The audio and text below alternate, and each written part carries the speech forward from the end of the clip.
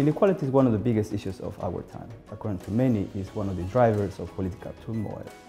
So we look at this question, has inequality really increased? We look at the UNU-WIDER World Income Inequality database to answer this question, which is the most comprehensive database on income inequality worldwide. We need to know what kind of inequality we are looking at. We look at uh, absolute inequality and we look at relative inequality. We look at global inequality and we look at within country inequalities we find that since 1970s, global inequality has been falling relatively speaking. This is primarily because poor countries are catching up with rich countries, relatively speaking.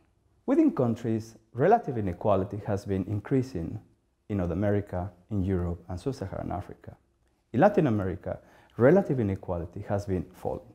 When it comes to within country inequality, the lesson is that policy matters. In Latin America, the decline in inequality has been driven by social protection and modest increases in progressive tax. Some inequalities are well rooted in history, for example, discrimination against women or ethnic groups. We want to understand those problems.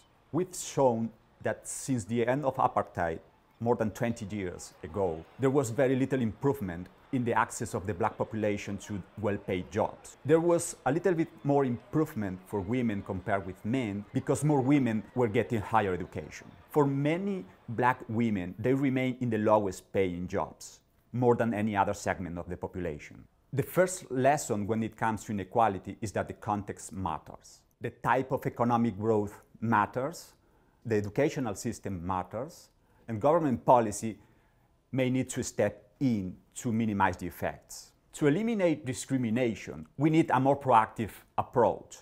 Not only from the government, the entire society needs to be involved.